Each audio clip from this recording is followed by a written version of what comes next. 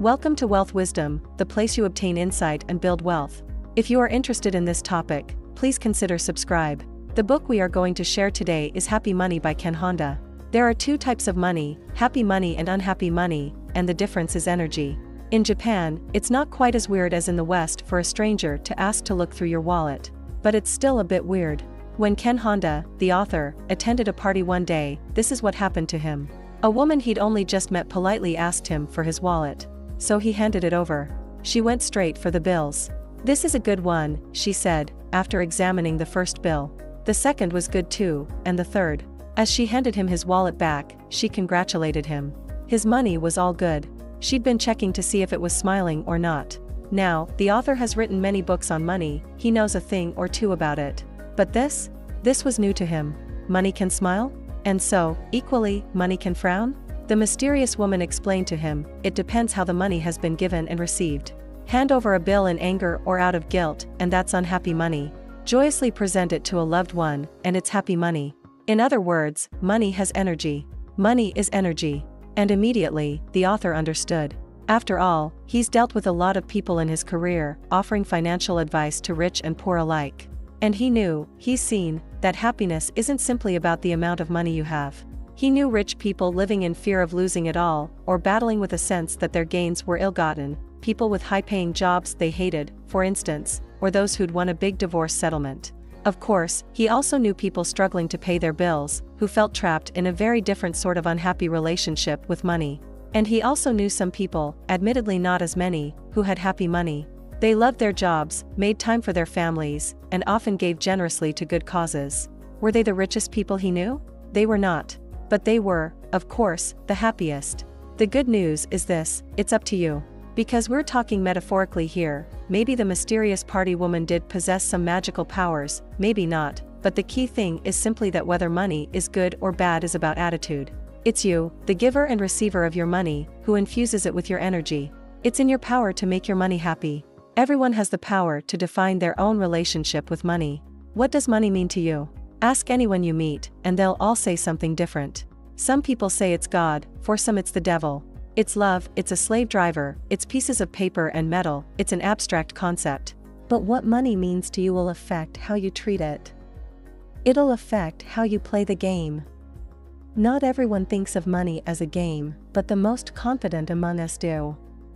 They're not playing to beat other people, though, their aim is to feel like a winner, on their own terms. In other words, they're getting what they want out of money. While everyone's different, there are six basic reasons why people want money, and it's important to know which one or ones you identify with. First off, people want money to survive, to put food on the table and a roof over their head. For some people, money is power. And for some, it's the way to right some perceived wrong, like bullying or experiences of shame in their youth. For others, money is about freedom, they equate financial security with independence. Money can also be about love and friendship, some people want money simply to impress people, and others want to use money to express how they feel about loved ones. Some of these motivations immediately seem problematic, it's obvious, for instance, that if you're only trying to get rich to impress people, you'll never be truly satisfied. But there are flaws in becoming too blinkered by any one of these motivating factors. If you're chasing freedom, for example, you'll always be frustrated. Money can help free you from certain obligations, sure, but feeling true freedom? That comes from within. And likewise, if you equate money only with basic survival, as you start to earn more, you might find you assume every problem can be solved with cash. So try not to be too focused on any one motivation for money, and remember that money itself isn't happiness. It's a tool that we use, which can turn into other things that we want or need. Be zen about it, be calm and accepting, and in the moment. Rather than too little or too much, the best amount of money to have is as much as you need. And if your money is happy, you'll be grateful for what you have. And you'll show it by saying thank you at every opportunity you get. Try it, it'll make you happy, and your money, and other people, too. Your money EQ is how you feel about money, and it's more important than your money IQ. When you think about money advice, what comes to mind? For most people, it's stuff like investing, interest rates, pension funds, tax, all that stuff. In other words, money advice usually means money IQ advice, facts, figures, and spreadsheets. And that's all fine. But what that means is, far too many people completely forget about money EQ, which stands for emotion quotient. If you want your money to be happy money, having a high money IQ isn't enough, your EQ is actually even more important. Because, as you've already heard, money isn't really about quantity. It's about how it makes you feel. What money EQ type are you? Some people are stockpilers, who hoard money out of fear of losing it. Compulsive moneymakers, meanwhile, are driven to earn as much as possible, to the point when they don't know when to stop. Hippies think of money as a cause of problems, and would rather it didn't play such a key role in society. And worriers will always find problems with their finances, regardless of how well they're really doing. Other types include spendthrifts, indifferents, saver splurgers, and gamblers. There are negative emotions associated with all of these EQ types. Money is a frequent source of anxiety, fear, doubt, and guilt. Which is why it's so important to understand your own money EQ, so you can recognize and curb your negative habits. And how can you do that? Regardless of what EQ type you are, here are some tips. First of all, let yourself receive money happily. When someone gives you money, whether it's your salary or a gift, be truly grateful for it, receive it with joy. If you receive money under a cloud, you'll never feel good about it, so learn to relish the process. A second point is to trust. This may feel almost impossible if you're in financial difficulty. But what you really have to trust is your own ability to solve your problems. If you doubt you can get yourself out of a tough situation, you'll increase the chances of that being true, so you should back yourself and trust that you'll be rewarded for your own efforts. High confidence means good money EQ. And the last point? Share.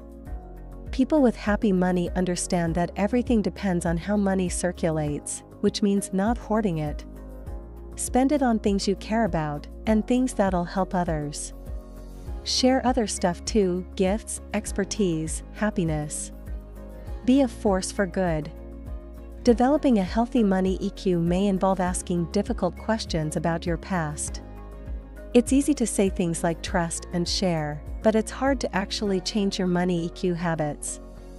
How you feel about money is wired into you from a young age, even from early childhood. One of the author's clients was a wealthy 70 year old man who opened up about his early years. The man remembered that his mother had so little money, she struggled even to buy food, and couldn't afford a birthday present for him either. He broke down in tears, as if he was a child once again. That memory of money trouble had stayed with him his whole life, and explained his urge to keep on earning even now aged 70. He was still so afraid he might lose everything, he still remembered how it felt to have nothing. When people struggle with money issues, so often they're trying to right the wrongs of the past.